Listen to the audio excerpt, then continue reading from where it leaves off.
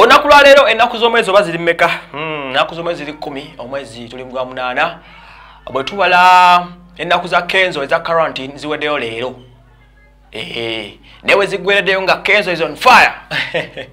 Ng'ayaka bwasi muganda wange ng'atokotanga muliro. Ayayayaya omanyi zino zobogerako zaake esigiri zaake? Eh, nalinanga mukwano gwange edda ng'akola mu katale naye nga baba agenda okukola yeetika esigiriko omuliro ku mutwe ng'akitaddekuwa n'ekikata. Abaami nga bafumba mmere Eh, naye sebobulomama ne bukyuka. Kati kenzo ye ssaawa gy'aliko ali ku muliro gutokotezzaake omukulu ono uh, 14 days eziweddeyo uh, mu quarantine okuvalibwa mu quarantine nga uh, ng'akomye okuva mu abijan emujjukira ebiseera bwe baddira. Uh, basobodde okuba nga bwe bali badde babiri mu ttaano omwezi gw'omusanvu so abadde ku fairway hotel wabadde akwasaganyiza ebintu bye. Era leero bagenda mukwasa certificate emukakasa nti he is corona free and he is ready okukolagana n'omuntu yenna gwe yandiyagadde. Oba okitegedde?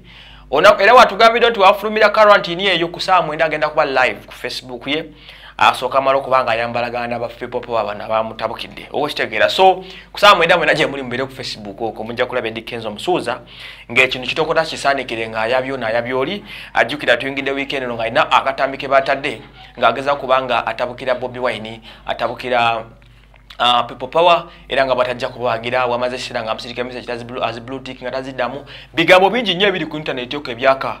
Ebyo ebireetedde kenzo n'abantu okuba nga boogera kino unfollow kenzo simanya bot kenzo bannaye ekiri ku internet okwo. Omusajja mukulu kana kambaato oba ali kukisimanyi nakumanya anyway saa mwenda ajja kuba ku facebook live and i think by next this week wednesday oba friday eh, personal assistant we fab yangambye ejja kuba uh, press conference oba okitegedde so uh, anyway fab mukutomedde ajja kuba press conference ya kenzo. Eh, tulidde ebiki byanannyonnyola n'ebirala about that oba kitegedde. So uh, eh, muganda wange.